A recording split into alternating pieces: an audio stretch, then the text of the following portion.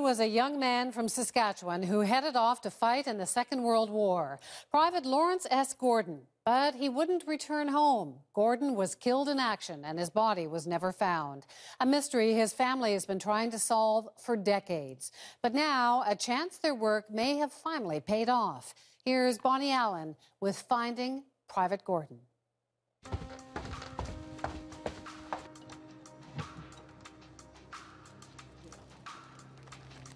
This is the wallet that was in my Uncle Lawrence's uh, back pocket at the time that he was killed. It's very precious to us. That's why I keep it in my vault in a sealed envelope. It's burned and stained, but it's the only thing Lawrence Gordon has to remember his uncle, Private First Class Lawrence S. Gordon, his namesake, and a World War II soldier whose body disappeared. I probably would have been six or seven years old when I can first recall my father uh, telling me about it. I thought, how can there not be a body when you've got the wallet? And I simply felt that Uncle Lawrence's body had been lost and I'd never know where it was.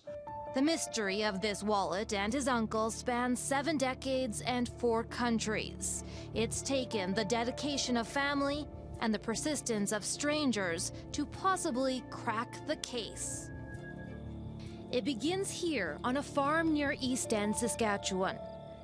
The homestead is still in the family. Uncle Lawrence, he was a horseman and cowman. Sam Gordon grew up hearing the story how his uncle Lawrence, in his early 20s, traveled south to Wyoming in search of work and adventure. The task force from Japan went to work. The farm kid from Saskatchewan decided that the U.S. military was better equipped, so he signed up to fight for the American Army. By 1944, he and his unit had made their way to France. The young private was doing reconnaissance, spying on the enemy. On August 13, 1944, near Normandy, his armored vehicle was hit by a German tank. All that made it home was his wallet. Inside, no identification, just photos taken on the front step of his childhood home. The little blond boy on the right, that's Sam. And where is it taken? Right on the steps of the house there. So right here. Right there, yep. Grandmother got was, like I said, was pretty mad over the army not ever telling her anything, and it was she couldn't understand why they could send a wallet right to her door and then then he just disappeared after that. Private Gordon's mother wrote countless letters to the U.S. Army demanding details on the location of her son's gravesite. Her frustration is clear. October 8th, 1946. I've written you before, and also to the Red Cross, but as yet I have failed to get a satisfactory reply. I should think by this time they should have located the grave. Please let me know. The one in his dress uniform is the best photo we have of him. Did your father ever tell you why he named you after Lawrence? Oh, he did. It was to ensure that Uncle Lawrence wasn't forgotten.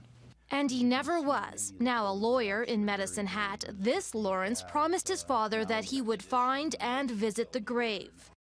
At one point, he flew to France to search the American military cemetery. He found Lawrence S. Gordon's name on the wall of the missing. But it turns out not just family was searching for answers. Jed Henry is a 32 year old freelance cameraman from Wisconsin. His grandfather fought in the same company as Private Gordon. I had an interest in my grandfather and in, his service during World War II. And, um, you know, for the last 10 years or so, I've been researching the group that he fought with. Henry discovered that 44 men in the unit had been killed in action, but only 43 bodies were recovered. He couldn't figure out why. There's sort of a, a soft spot um, for soldiers who are unknown or, uh, you know, never identified. And so it just kind of bothered me. Um, and I just wanted to look into it and see if there was a chance that maybe we could find him. Jed Henry tracked down the Gordons, then spent the next two years making repeated requests for documents and military records from the American government and Army. If the body's in the U.S. system, you're almost doomed before you start. But finally, a breakthrough. The government declassified war records that contained forensic details about unidentified soldiers. They're called X files. They contain bone charts and dental records. Initially, it was believed that Private Gordon could be X6. Essentially, there was just a pelvis left of that particular person. And I said to Jed, that doesn't fit with the wallet. Uh, the wallet's in pretty darn good shape, and so I couldn't possibly imagine how you could have just a pelvis left and have the wallet in that condition. So they looked further, mapping where Private Gordon died, who he was with, what kind of injuries he might have had. It all pointed to X3. You know, we knew this was our shot, um, and that this was really the only body that could be, uh, you know, Lawrence Gordon. But what no one expected X3 was buried with Nazi soldiers in a German military cemetery in France. You can't help but wonder uh, when he's among 12,000 other uh, deceased German soldiers uh, whether or not he may be, even be laying beside the one that killed him. You don't know. How is this possible? Well, it's only speculation, but it wasn't uncommon for soldiers to scavenge clothes off the enemy. So the family believes Private Gordon was found badly burned in a German uniform and was mistaken for a Nazi soldier. Of course, what they really need to prove this theory is DNA. What happened next is extraordinary. Lawrence Gordon, his brother Sam, and Jed Henry flew to the German cemetery near Normandy. They convinced officials in both Germany and France to remove the bones of X3 from this burial cask. French police kept guard as forensic experts painstakingly documented every step. So did you expect all this?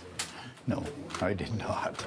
The bones are now being tested inside a national crime lab. The DNA compared to samples given by Private Gordon's nephews. There's a great deal of pride that goes into what we've done. You know, this may or may not be PFC Gordon. Uh, we won't know until the science is back with an answer. Um, but I think what we've done is I think we've honored his memory by doing everything we can to identify him. It will provide closure for the family. Uh, but Lawrence is already convinced. He saw the skull and the teeth and believes it matches his uncle's dental records. For him, the search is over.